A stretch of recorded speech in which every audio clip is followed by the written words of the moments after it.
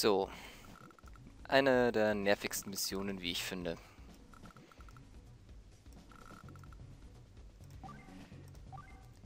So, meine erste Frage ist, hat Eagle mittlerweile genug äh, Rangpunkte, um... Ja, er hat. Das ist sehr toll, weil den hier brauche ich in der Mission. Dann, was ich auch brauche, ist der hier, weil in der Mission wird es ab dem dritten Tag regnen und... Ja, Regen 20% mehr Schaden nimmt man da einfach mit. So, hier muss ich allerdings mein Lieblings-Tech-Team ranmachen. Oh, wobei, die brauche ich ja sowieso in der blauen Armee, fällt mir gerade auf. Und dann muss äh, hier Eagle, hier Sammy. Moment, das passt schon. Die hier brauche ich. Was nehmen wir denn hier mit? Mhm.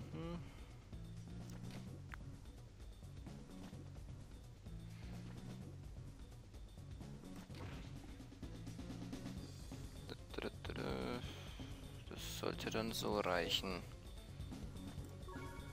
So. In der Roten Armee. Wen nehmen wir denn hier mit? Ja, nachdem die ziemlich auf äh, Aufbau spielen, nehmen wir mal wieder das Dream Team. Was haben wir denn hier schon?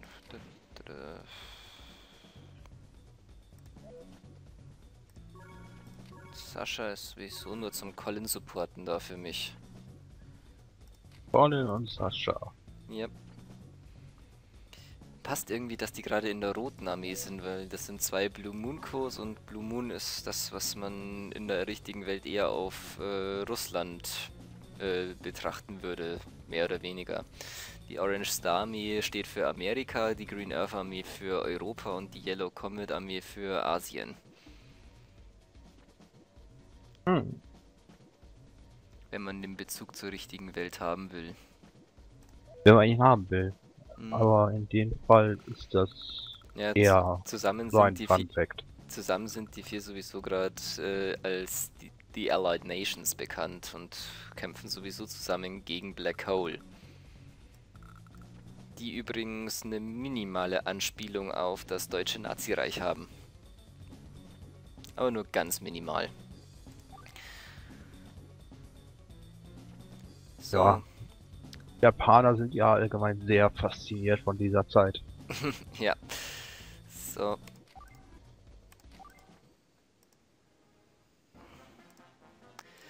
Na dann legen wir mal los.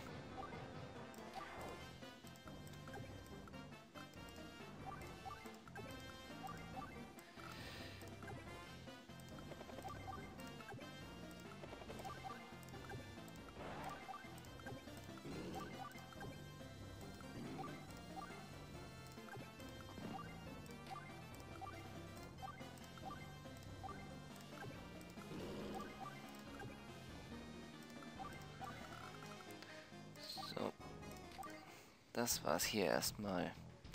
So, der Grund, warum ich äh, diesen einen Skill mitgenommen habe, ich komme jetzt mit den Einheiten bis da nach vorne, durch den ganzen Wald hindurch und kann die Fernwaffen ausschalten, bevor sie mich zu Brei schießen. Das gibt mir doch einen sehr enormen Startvorteil hier.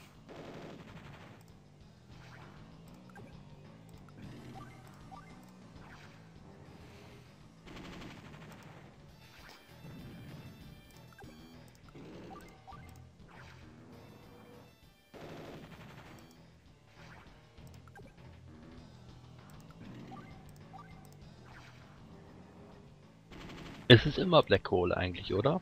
Bei den, äh... Beim was? Habe ich ganz kurz das Spiel, den Namen des Spiels vergessen. Advance Wars.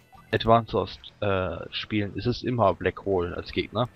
Im ersten Spiel äh, ist es prinzipiell auch Black Hole, allerdings hat, bekämpft man die nur in den letzten drei Missionen, weil Sturm, der Oberkommandant von Black Hole, hat einen Krieg zwischen den äh, vier Nationen angezettelt und hat diesen ausgenutzt, um seine Armee aufzubauen. Deswegen kämpfen da im ersten Spiel noch alle vier Nationen gegeneinander bis zur letzten Mission, wo dann alle zusammen gegen Black Hole kämpfen.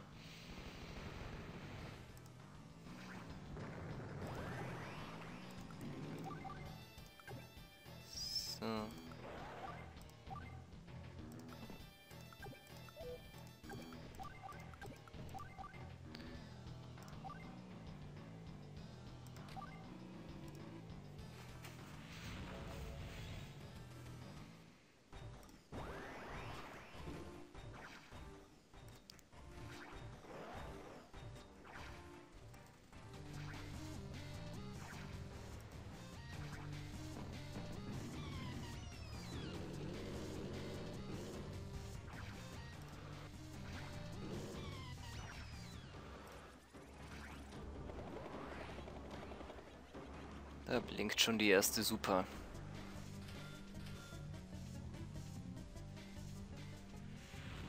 Oh, schon wieder ein Klon. Ja, diesmal ein Klon von Drake. Ein Green Earth Co.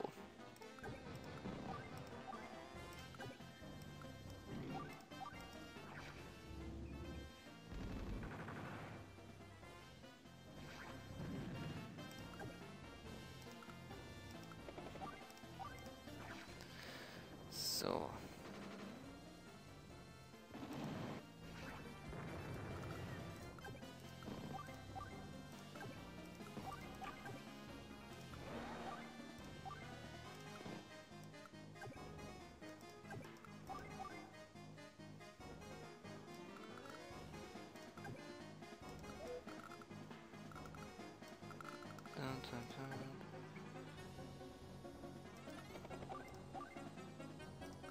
Bei den ganzen Klonen muss ich echt die ganze Zeit an Alarm Pro 2 denken. Das ist äh, ein, irgendwie es nicht kennen, äh, ein Echtzeitstrategiespiel. Bin Von den West, von Westwood Entertainment. Ähm, gepublished von EA. Und da gab es unter anderem die Mission, wo der Antragon, äh, Antagonist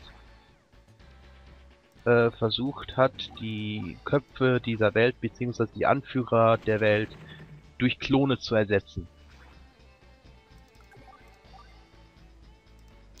Ah ja, also Black Hole benutzt die ganzen Klone einfach nur, um uns zu ärgern.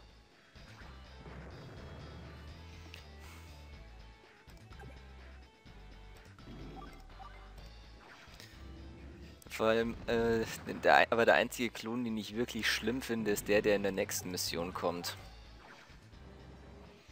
Oh, da bin ich schon mal gespannt. Nachdem du jetzt noch nicht weißt, welcher Klon das ist, spoiler ich mal nicht. Dann wäre ich ja nicht gespannt. Hm. So.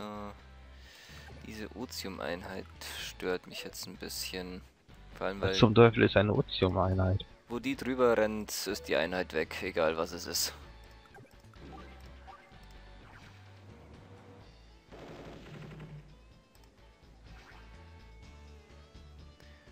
Hm, Bin am überlegen, ob ich dazu gerade was opfern kann, soll oder muss, um die Infanterieeinheit hier sicher durchzubringen. Hm. Ich glaube, ich kann den Späher opfern. Wenn man ihn schon opfern, dann kann er wenigstens noch mal draufschießen. So. Dann äh, verschlingen wir nächste Runde zwar den Späher, aber egal. Ich habe ja noch einen zweiten Späher. Den Kriegsnebel kann ich dann ab der nächsten Runde auch schön ausnutzen.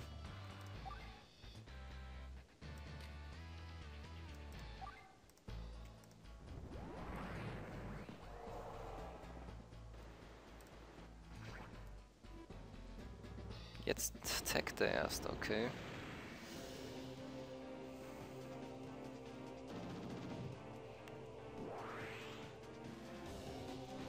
Jetzt kommt der Tsunami.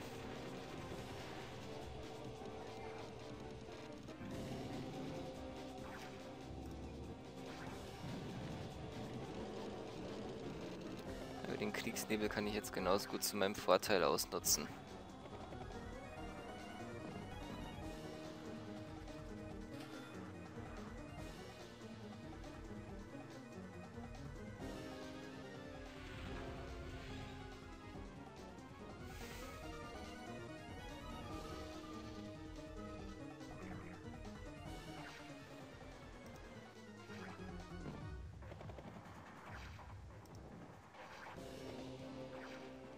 Spieler ja voll auf Risiko hier und der schafft sogar noch.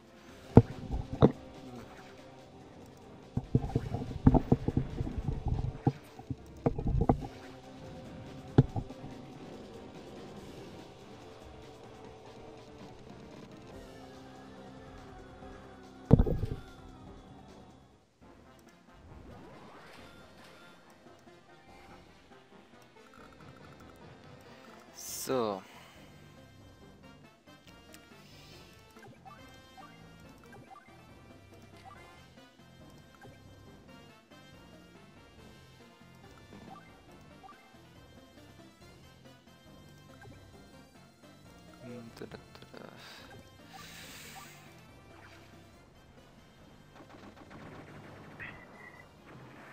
Ja, bis auf eine Einheit alles.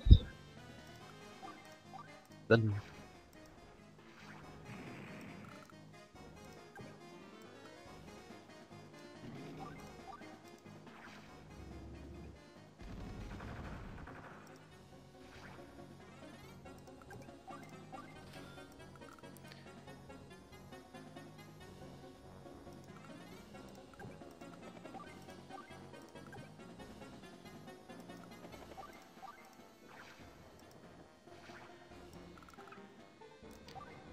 Wir brauchen ein bisschen Geld, würde ich sagen. Power of Money, wenn ich es richtig. Nee, Nee. Gold Rush, okay. Power of Money ist die super, oder? Yep. So, wir brauchen einen Neo-Tank und einen normalen Tank. Das sollte erstmal wieder ausreichen, um da unten einigermaßen zu überleben. Das ist das Tolle an Colin. Wenn du Geld brauchst, du kriegst es.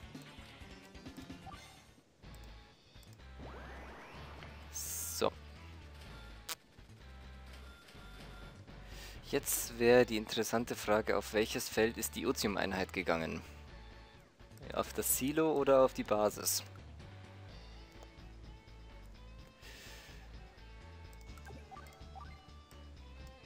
Zuerst einmal auf jeden Fall das Schlachtschiff hier wieder ein bisschen anschießen.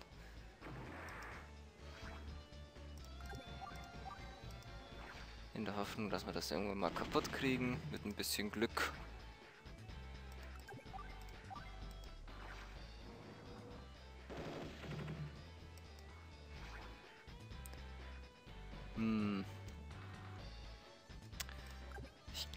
Nachdem ich den Capture eh nicht durchkriege.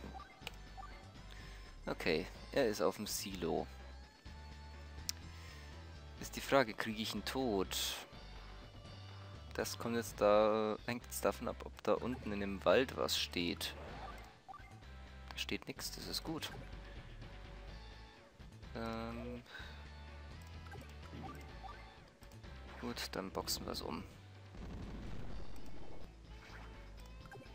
Ja. Kriegst den tot? Mit ein kleines bisschen Glück, ja. Der muss sitzen, sonst geht's nicht. Jawohl. Incredible.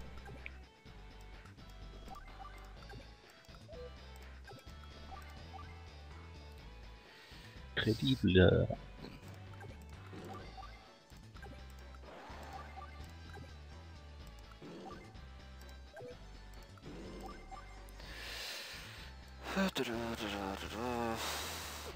Wie lange hält dieser Knebel des Krieges an oder ist der, Der- dauerhaft? Der ist in diesem Fall dauerhaft, weil es am, bis zum Ende des, äh, dieser Mission regnet. Und im Regen ist es sowieso ein verstärkter Kriegsnebel, der sogar noch die Sichtweite um ein Feld verringert.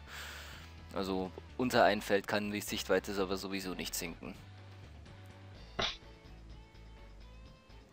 Würde ja dann auch nicht mehr funktionieren. Das Spiel.